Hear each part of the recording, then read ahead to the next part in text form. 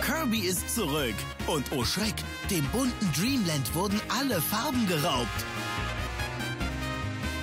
Mit dem Wii U Gamepad und der Hilfe eines magischen Pinsels kannst du Regenbogenseile mit dem Touchpen zeichnen und so Kirby den Weg durch dieses kunterbunte Knetabenteuer weisen. Kirby und der Regenbogenpinsel. Nur für Wii U.